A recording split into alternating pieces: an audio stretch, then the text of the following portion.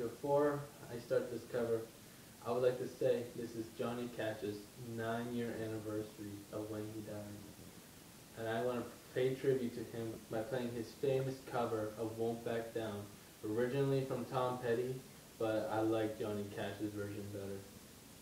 So enjoy.